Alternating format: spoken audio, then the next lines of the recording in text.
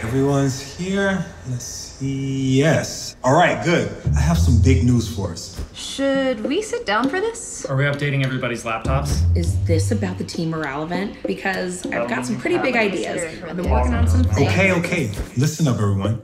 A hundred stores open up next month, and we all know what that means. A massive inventory spike. And getting distribution back up to speed? Plus a whole bunch of new hires. Yeah, it's a lot.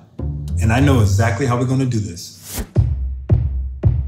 All right, here's our first order 500 stuffed unicorns. Ah, I only have a hundred. Oh, wait. More are coming Tuesday. I'll update the list. How did the interviews go? Awesome! Hiring these top picks.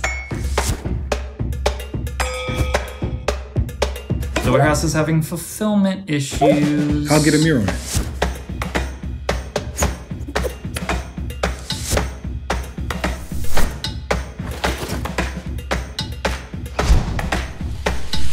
Congrats, everyone. We did it. We got all 100 stores stocked in record time. Whew. Nice work on fulfillment, you guys. Hey, you made it organized. And the new hires are totally up to speed. Nice. It all worked out. I mean, seriously, you guys are great. You know what's great? Technology. All right, and teamwork.